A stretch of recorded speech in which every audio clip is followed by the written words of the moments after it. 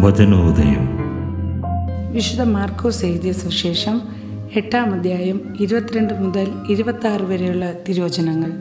അക്കാലത്ത് പിന്നീട് അവൻ ബെക്സേദയിലെത്തി കുറേ പേർ ഒരു അന്ധനെ അവന്റെ അടുത്ത് കൊണ്ടുവന്ന് അവനെ സ്പർശിക്കണമെന്ന് യേശുവിനോട് അപേക്ഷിച്ചു. അവൻ അന്ധനെ കൈക്ക് പിടിച്ച് ഗ്രാമത്തിന് വെളിയിലേക്ക് കൊണ്ടുപോയി. അവന്റെ കണ്ണുകളിൽ തുപ്പിയ ശേഷം അവന്റെ മേൽ കൈകൾ വെച്ചുകൊണ്ട് ചോദിച്ചു നീ എന്തെങ്കിലും കാണുന്നുണ്ടോ? നോക്കിയിട്ട് അവൻ പറഞ്ഞു ഞാൻ മനുഷ്യരെ കാണുന്നുണ്ട്.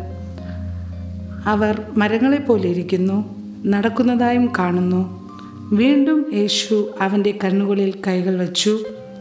അവൻ സൂക്ഷിച്ചു നോക്കി കാഴ്ച തിരിച്ചു കിട്ടുകയും ചെയ്തു.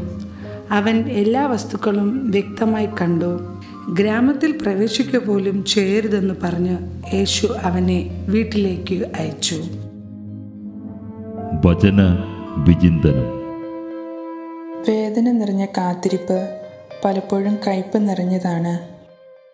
എങ്കിൽ നമ്മുടെ വിശ്വാസം പരീക്ഷിക്കപ്പെടുന്ന നാളുകൾ അവസാനിക്കുമ്പോൾ പ്രത്യാശയുടെയും വിടുതലിന്റെയും ചൈതന്യമായി ക്രിസ്തു നമ്മുടെ ജീവിതത്തിൽ കടന്നു വരും എങ്കിലും അവിടുത്തോട് വിശ്വസ്തത പുലർത്തുവാൻ സാധിക്കുമ്പോഴാണ് നമ്മുടെ വിശ്വാസം വിജയത്തിൽ എത്തിച്ചേരുന്നത്.